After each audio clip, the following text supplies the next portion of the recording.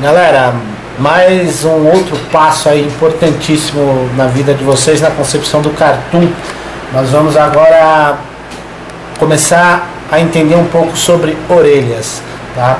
A gente tem desde uma orelha na anatomia real, né, que é a anatomia do ser humano, até a simplificação para a anatomia do cartoon. Né? E dentro do, do parâmetro do que nós vemos desde o início do curso falando, os exercícios vão ser sempre muito importantes e vai ser usado a todo momento. Nesse caso aqui, para você iniciar uma orelha, o grande exercício é aquele do círculo. Embora aqui a gente vai fazer algo mais oval, mas ó, o trabalho com o círculo é muito importante.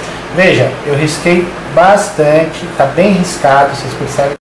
Não tem problema. Então, de repente você vai pegar e falar, nossa, risquei muito, não, que droga, não vou fazer. Não, não tem nada disso. É começar a fazer e aí em cima vir fazendo o esboço, que é o que eu falei para vocês sobre o lápis HB. Né? Então você riscou bastante, você vem aqui, você vai criando os parâmetros da orelha, né?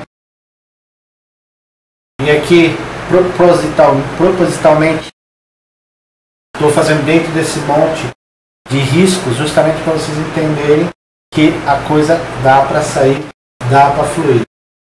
Então, aqui, parte interna da orelha, da boca.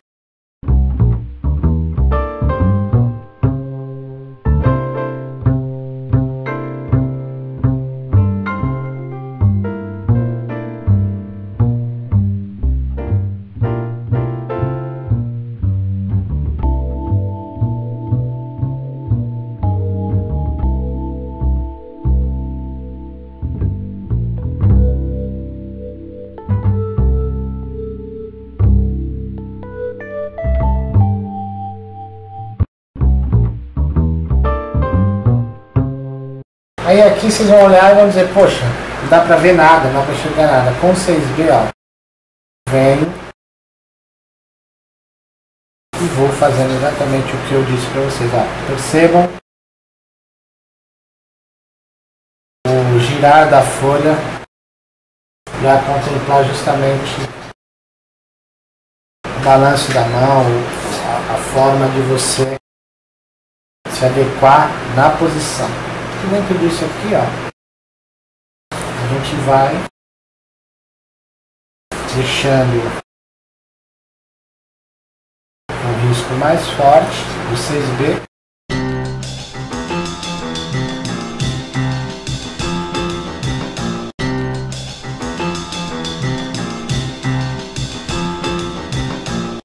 Aqui é a orelha. Aí aqui eu vou dar uma sombreada muito de leve.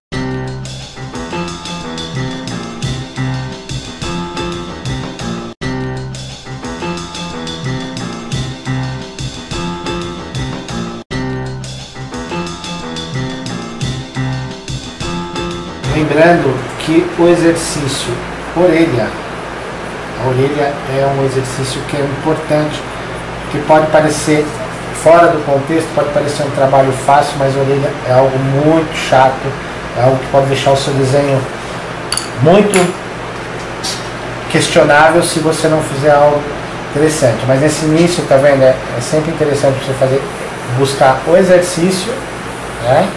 Do riscar bastante e, fazendo isso. Né? Chega no momento aqui, a gente, eu vou fazer uma orelha mais simplificada, que aí a gente já vai subindo para a base, né? que é do cara.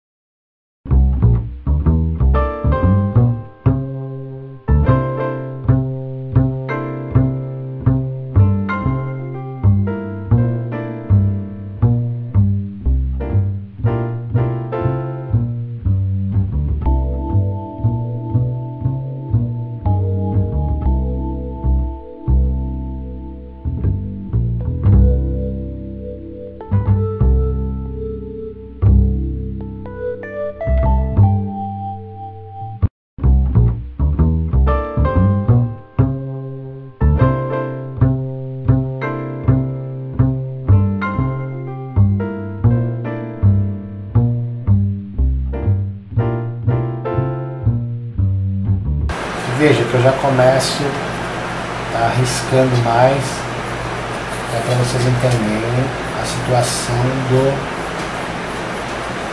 do riscar mesmo, do ato de estar tá rabiscando, de estar tá soltando a, a, evolução da mão o tempo inteiro. Aí isso faz toda a diferença com o tempo, inclusive no critério agilidade, porque vai chegar alguns momentos que vocês vão estar tá fazendo o esboço né, de forma muito ágil e jogando em outras plataformas de trabalho, outro, outros níveis de ferramenta que não vem ao caso agora, mas que sabemos que existe, né, como digital, por exemplo. Tá? Aqui a gente tem uma segunda orelha, aí nós vamos fazer uma outra aqui. Percebam que soltar a mão, o balanço é muito importante.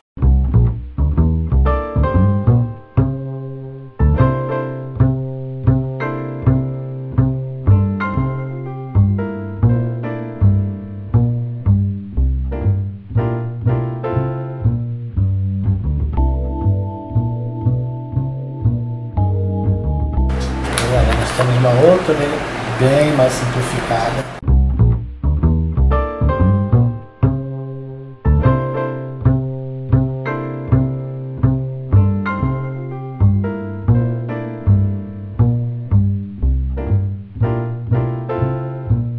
O risco não me assusta.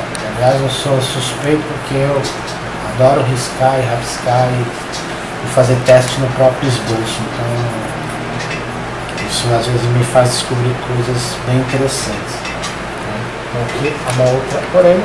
E agora nós vamos para uma orelha mais redondinha.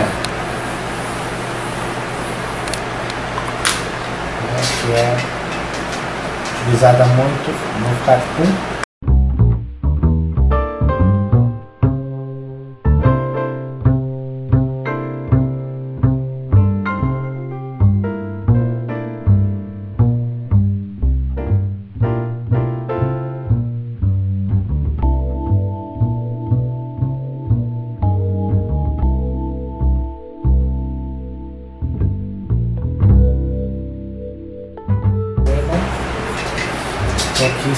simplificou tudo. Né? Então você tem primeira, segunda, terceira e a quarta. Cada uma de forma muito mais simples. Né? E, e dentro desse padrão aqui você vê que você vai simplificando ao ponto de simplificarmos mais. E aí agora nós vamos simplificar usando formas mais geométricas. Né? Então você tem a forma triangular Okay.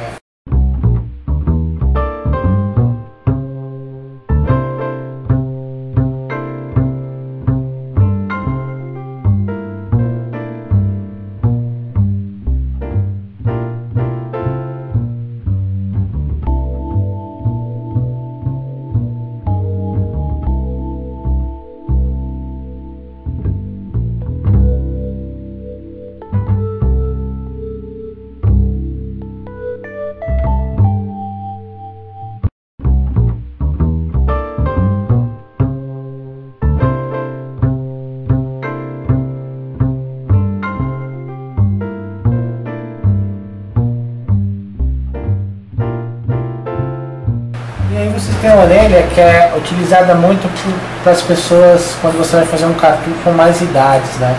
É, na percepção da anatomia, a pessoa conforme vai ficando velha, né, ou idosa, na verdade a palavra velha é, é, não é o, o ideal, mas você percebe que a orelha vai ficando grande, vai ficando comprida. Então, um outro formato para você fazer isso é deixando a parte inferior da, da orelha maior, mais extensa.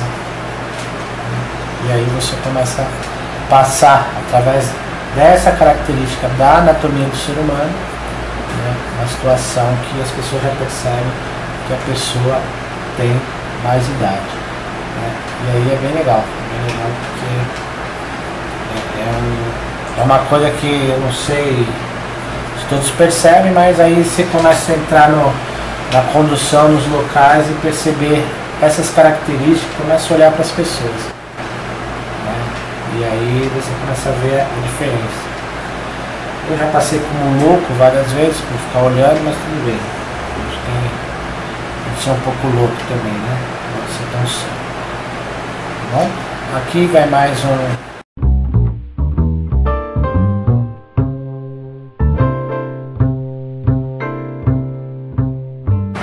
na mesma questão da boca, do nariz, tudo é uma questão de vocês criar estudos e percepções, né? Porque hoje o que mais temos aí são, são fontes para analisar a construção do melhor cartoon e a criação do seu personagem. Então depende muito do que você quer fazer, da, da empatia que você quer que ele que tenha com, com o seu público final, para você decidir melhor boca, melhor orelha, melhor nariz, para estar tá fazendo esse trabalho, ok?